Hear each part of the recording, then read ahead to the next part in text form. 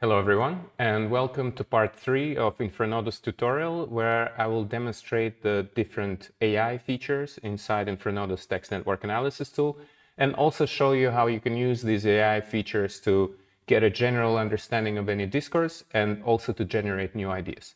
So keep watching if you want to learn how it works. First of all, you will need to get your data into Infranodus. I explain how you can do that in part 2 of the tutorial and then you need to work a little bit on the graph to make the structure uh, a little bit more suited for analysis. I also explained how to do that in the first part, and I will dive into it again in the end of this video. But right now, I have the graph of my notes. So I have my notes here on the left. It's some voice notes which I took using Otter AI. These were voice notes and then they were converted by Otter AI into text, and then I imported them inside Infranodus. So here I have a visualization of my nodes. Uh, for those of you who don't know how Infranodus work, uh, works, just a quick explanation. The words are the nodes, and then if the words are used in the same context, uh, like in this case, I was using build a game a lot, uh, they will be closer to each other and also connected with an edge. And if a group of words tends to be used uh, frequently in the same context, in the context of this text, then they will have the same color and they will be located next to each other on the graph. So this representation allows us to get like a very good understanding of what is the structure of the text. And I have this representation here, so I can just look at the keywords and get a general understanding, or I can also click on that button, reveal high level ideas. Also have the button here, and then it will send those topical clusters there's a few of them here, to AI and generate the names for them for you. So you get a high level overview of that. idea. So this is the first use case of how you can use AI inside Infranodus is just to create this sort of interpretation of content. And I find it's much better than using AI for summarization because when you summarize something, you just get like a paragraph that explains what the text is about, but when you have this structural overview of what the text is about with uh, some names for the topical clusters, you get a very re relational view of the content. So for example, I see that this text is about player relationships.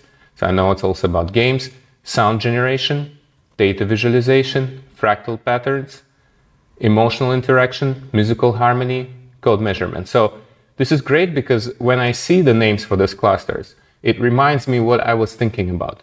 And uh, this is much better than just someone telling me in a few sentences what the text is about because I start to put those topics into relation to one another. And this is the advantage of using this approach.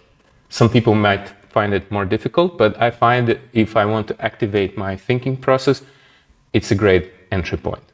By the way, you can also, of course, generate a summary. So if I click here, uh, it's going to actually take all the statements uh, that are visible here and uh, generate a summary of what this text is about. But it might miss some things out. And also I find the summary, uh, while it gives me a good explanation, it says about that this text is about fractal nature of systems and how they can be observed in various phenomena such as a human heart. It talks about the importance of prototypes in game design. Okay, so it's basically talking about all the same uh, topics that I identified here. But when I look at those topics here, my motivation is to start putting them into relation together again. And this activates my thinking process more than just seeing the summary. So you can use both approaches, but I like to use uh, the topics first. Now, the next step that I like to do is uh, to just jump into each topic and see if there's anything interesting that I can start thinking about or developing further as an idea. So, for instance, in this case, um, if I go into fractal patterns, I will see what I've been saying about fractal patterns. And I have actually two ways of doing this. So, one way of using AI in this context is to select this topic, and then you will see that this button changes to summarize visible. So, what happens here? When I click on a topic, it filters the statements uh, that belong to this topic only. And then when I click this button, it's going to summarize only the topics that belong to this statement, to these statements, right? So as you could see, it didn't generate the summary from, them from the first time, so you just need to click regenerate a few times. And then here we see that uh, it's talking about how fractals can be seen in different scales. of universe and in different systems, and the idea of repetition and change in patterns, and how you can put this idea into relation with the notion of gameplay and storytelling and the potential for game designers to be storytellers. And also I'm talking about Chrome extension to analyze and summarize the text that is also mentioned. So it's great because it reminds me how I was putting the idea of fractals into relation with game design. And uh, I can dive deeper into the subject and see how I can develop it further. Let's keep this thought in mind. So I'm going to go to project notes and actually leave a note for myself here that put the idea of fractals into relation with game design. So I usually use this panel here to just record some thoughts and ideas that I have. Great. Then let's go into game, story, play. And by the way, if I click here, I see more topics that are used uh, in this in this context. So for example, player. Okay, so I select these four nodes. And what I can do now is to go into this AI Insights module and I will have these four nodes selected. And then I can say like, okay, take the current context into account. So I'm gonna uh, tick here, use these four concepts and generate an idea for me. So then it's gonna take these four concepts. It will also take the graph structure, send it to GPT-4 and ask it to generate an idea that would connect those concepts in an interesting way. So here it says that building engaging game narratives creates symb symbiotic relationships. Interesting characters and plots inspire players to create their own stories, which in turn enrich the gameplay. The key is integrating movement, work harmony, and learning experiences into ever-changing virtual world. That sounds interesting to me because it's talking about the importance of creating engaging narratives so that people want to create their own stories inside the gameplay. And uh, I think I will add this to notes as well. Save it here, regenerate some more. So when, when you click generate more, you will have some more options here. Um, and uh, I think this is also nice because it's talking about interacting with the game on different scales from micro to macro.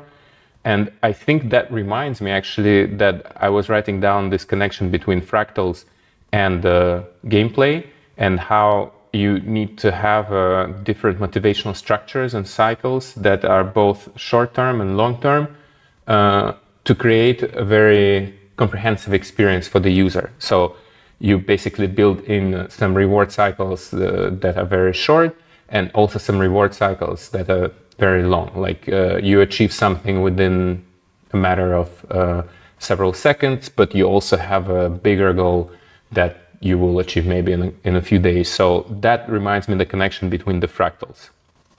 I'm going to edit this node because uh, this was the connection that was identified earlier. And uh, I will edit this idea. So this I can also do. I don't have to take the idea from AI as it is, but I can also edit it to something I want and then I save it into my notes. So this approach I really like because I'm not using the AI to create the ideas for me, but I'm using it as an assistant or as a stimulant to help myself think in the direction of what I've been thinking about before, to reactivate this thinking process because then I'm much more active in it and hopefully I'm going to reinitialize uh, some ideation process which I can then uh, apply into building something or uh, conducting research in the same direction. So this is how you would work with that. You can either select a topic like I did here and explore this topic, or you can also select a few nodes and explore those nodes as well. By the way, you can also use AI insights with the topic as well. So in the previous uh, example, I selected this topic and then summarized the, them here. But also if I select a topic and I go to AI insights, this topic is going to be selected and then I can also ask it to generate content related to this topic. So if I do that, and I ask GPT-4 to generate an idea that, that relates to this topic, then it's going to um, generate an idea for me, which I might also be interested in using in my research. Can regenerate a few. Let's see if there is anything interesting here. Sometimes there is not.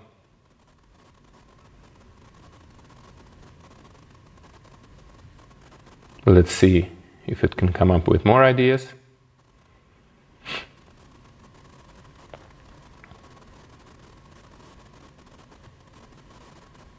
Okay, so here it's talking about uh, transition from one state to another uh, and big changes. And also how we can think of fractals in time. So I'm going to actually take this idea and write about this separately, thinking about fractals in time. Okay, save this note here.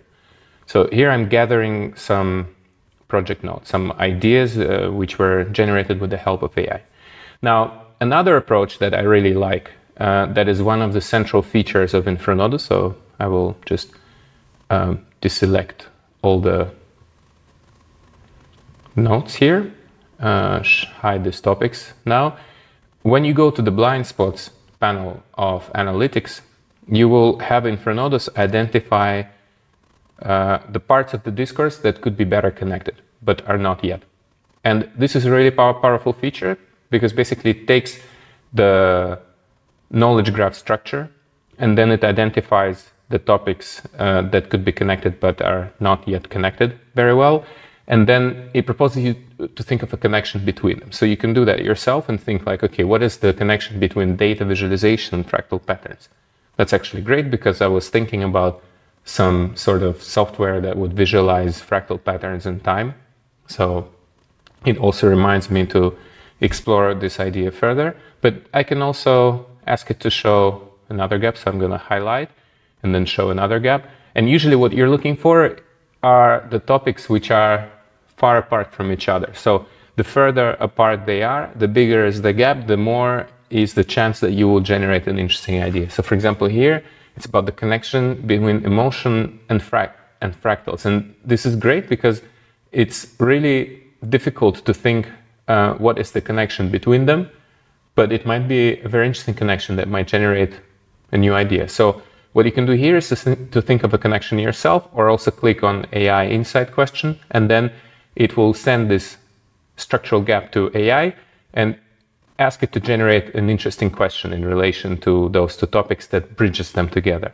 So here it says, how does the level of physical interaction and emotional connection experience the virtual reality interfaces impact an individual's ability to learn and adapt to change on large scale over an extended period of time? So that's actually very interesting because it's talking about uh, how you can have an experience in VR by interacting with somebody and how you can then integrate this experience and learn something from it. So using VR for educational purposes, I can actually add this idea here using VR for educational purposes.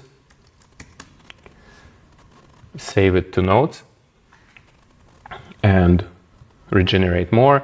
How does the use of virtual reality technology in long distance learning impacts individuals' emotional experience?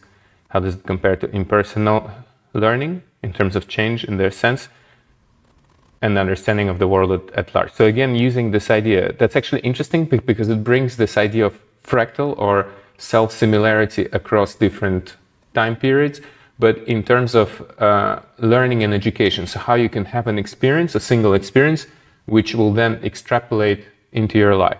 I can actually write down this idea that I had thanks to this question, uh, how uh, brief experience can be integrated into everyday life. And I can say through VR, but also in life during training, doesn't have to be only about VR, uh, through uh, assimilating it into daily patterns. So there I'm going to save this idea again. And I'm going to ask it to show a new gap. So musical harmony, emotional interaction, great, nice connection. And here it's going to say how emotional experiences and interactions with written language affect their ability to create and sort harmonious systems and notes in musical compositions. This is great, a connection of our understanding to language and to music. So I'm going to save this also into notes and I'm going to explore it further. And then another gap and another gap, and then gradually you will generate more and more ideas like this. Another thing that is very interesting is this panel here, conceptual gateways. So this is always a little bit hard to explain, but let me make an analogy with a social network. So here, the visualization is of the words that like to hang out together. And if words like to hang out with a lot of different words, they will be bigger on the graph. And if they like to hang out together frequently, then they will be closer to each other on the graph and have, have the same color. So this is a good analogy to understand how text network visualization works and how this knowledge graph represents the meaning inside the text, right? It gives you this kind of like social structure of a text.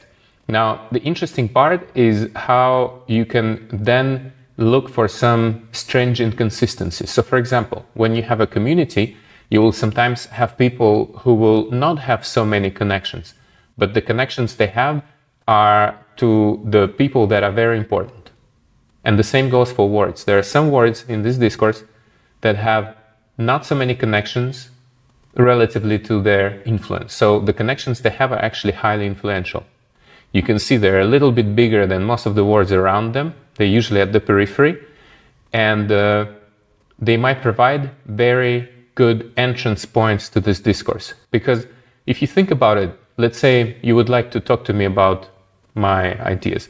If you talk about game design and, uh, you know, how to make, uh, like, I don't know, fractal systems and the different questions that arise, I will probably think that it's a little bit generic.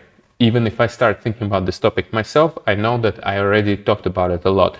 I will probably want to speak about things that are very specific that relate to the main topic, but uh, in a way that can also open it up to other things I haven't thought about before. So this is exactly what those conceptual gateways are useful for. You discover those words, which could be very interesting entry points. So for example, here, play, story. And when I select these words, I see what else it's connected to. You can also go to relations and see here that it's connected to game, interesting people, base player a lot. By the way, I can also just ask AI to generate an idea that relates to those two words and all the words that are connected to it. And here it says that in a compelling story or play, interesting people form a base, while in game it's the players.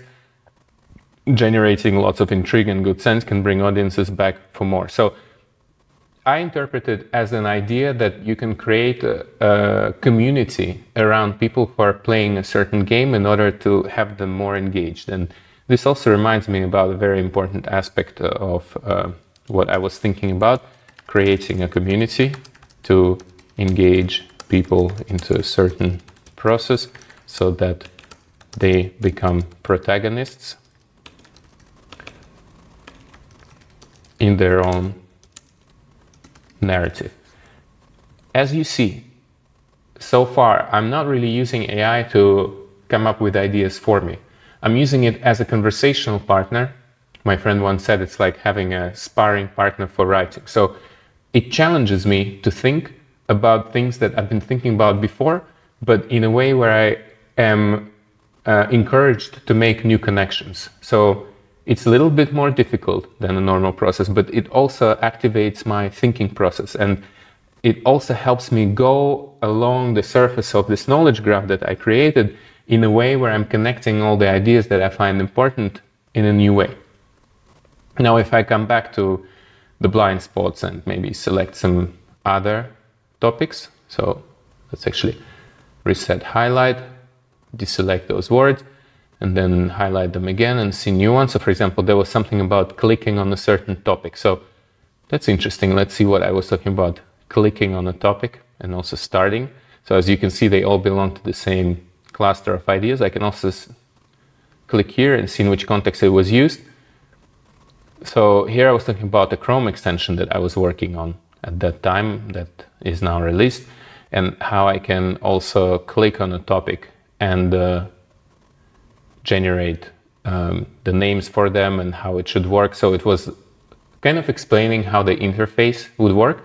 This idea is already realized, but what I can think of in connection to that idea now is how to relate it to this sort of gamification principle. So how I can use uh, the same idea, topic, click, uh, gamification, to make this whole process of discovering topical clusters for the people who use this extension more engaging.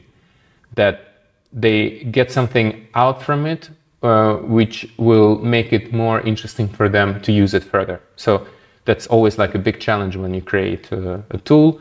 And it reminds me now to think about this gamification aspect, which I actually lost track of a little bit while I was working on this extension, to be honest, because uh, I had to be very technical in programming it and making it work. And so it's a great reminder of what I can bring into my current project. Um, you would then continue in the same way over and over again. So actually, let's remove this word kind. And uh, gradually you will accumulate a lot of interesting ideas. And as I said, depending on your uh, objectives, you can use them in different ways. Like in my case, for instance, I'm going to take some of them out and integrate them into my working process. So, for example, this notion of gamification and uh, the extension that I've been working on, and also the connection between VR and education, and this idea of fractal reward, uh, rewards that happen on small scale and, and on big scale. So as you can see, I already have some actionable insight that I can integrate into my projects. But for example, if you're a writer and you would like to create, let's say, an article based on all these ideas, what you could do is actually copy this whole text that you created here then you create a new graph. Um, we will call it new ideas. Perhaps a bad name because uh, I will not know what it's about later, but let's try it.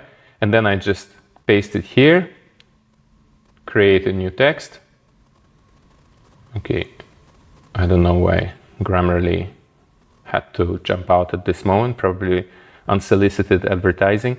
And here I have a visualization of all the notes which I took so far, right? So I see that I've been writing about creating experience for players, games. I can also reveal high level ideas. Uh, so it provides me a sort of overview of, of the different ideas that I now generated uh, thanks to this text. What I like to do in the very end is to actually take this graph and compare it with the ones I was using to actually generate it. So I'm going to click here on the comparison feature and then I'm going to say take this graph and compare it to the original one that I used. And here it's going to highlight how they connect to one another. So what are the similarities between them? It's kind of like uh, I merge them together and then I ask Infranodus to highlight what is the part in the Venn diagram that uh, overlaps so I see that it's overlapping on the idea of time and game and change and scale and fractals. I've been talking about all these things, also topic and click. Remember the last one where I was talking about Chrome extension.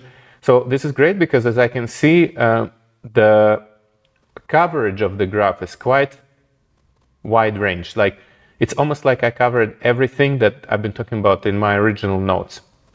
But there are also some things that I'm missing, like especially at this part here where I was talking about graph database, gaps, and prototypes and so on. So what I can also do is to ask Infranodus to show me how they're different from one another. So when I go to the comparison, I will ask, okay, show me how they actually differ from one another.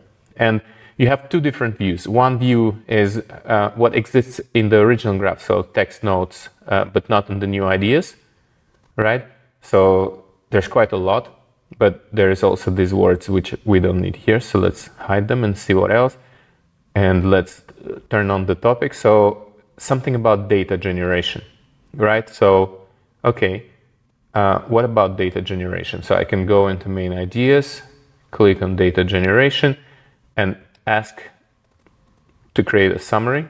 Of course, it comes with an error. It's probably too much information. Okay, if there is ever a bug like this, it means that you reached the limit on GPT-4 which is uh, imposed uh, like the number of connections that you can have per minute, but it's okay. We can hack it by just looking at the topics here manually and see like, okay, so we have data generation, uh, how I can talk about, let's say, starting with the question and prototypes, develop, maybe here, move the graph down a bit, and then see what are the statements where I use the, these terms in the same context. So for example, here I see uh, if you start with a simple question, you're operating on top of all OpenAI data, but then you could also start with a certain context. And with this context, I think you should be able to import very easily.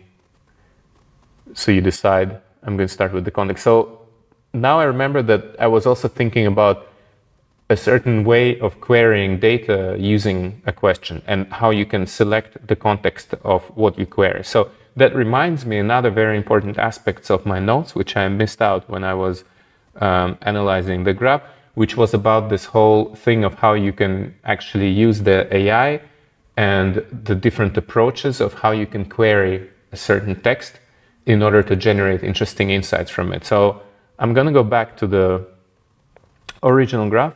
Actually, can go here, text nodes, and add something about those AI nodes.